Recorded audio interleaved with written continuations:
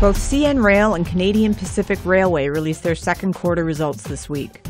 Canada's sluggish economy and lower volumes of coal, grain, and energy related products are expected to undermine the railway's lofty 2015 earnings goals.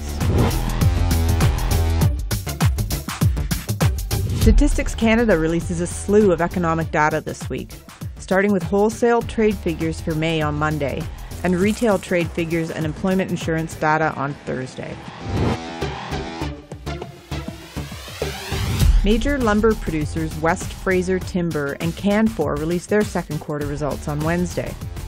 The lumber industry is in recovery mode thanks to the U.S. construction boom and the weaker loonie.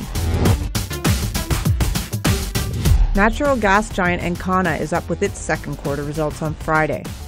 The company has been suffering from natural gas's enduring weakness and its move to become a key oil producer just as oil prices plummeted.